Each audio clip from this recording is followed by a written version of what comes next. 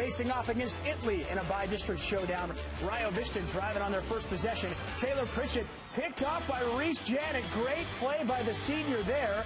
And the Gladiators are in business. Quarterback Jayden Saxon keeping it, and he's a load to bring down. Shaking off some tacklers and carrying a few with him.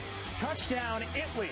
A little later on, backed up in their own end zone, Jay'lon Hernandez finds a seam, puts on the Jets. Nobody going to catch him. 90 yards for the touchdown and a comfortable 14-point lead. At that point, he's still running. Gladiator, uh, Gladiators then looking to put the nail in the coffin. Jaiden Barr finds an opening, and he can move too. 60 yards on the house on this run here. Rio Vista tried to rally late, too little too late though.